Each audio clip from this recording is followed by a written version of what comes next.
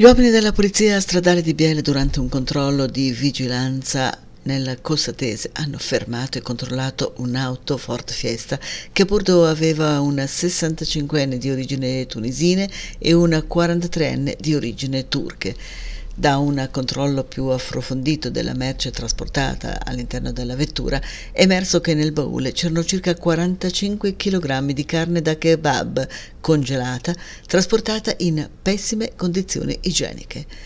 Gli agenti della polizia stradale hanno così proceduto al sequestro della merce, facendo anche intervenire il personale della SL di Biella.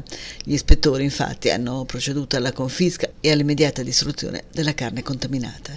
Inoltre è scattato un controllo presso il rivenditore di kebab di Biella che aveva commissionato il trasporto con destinazione un altro esercizio commerciale della Valsesia. Dal controllo non sono emerse irregolarità. I due uomini sono comunque stati sanzionati con ammente che vanno dai 1.000 ai 5.000 euro.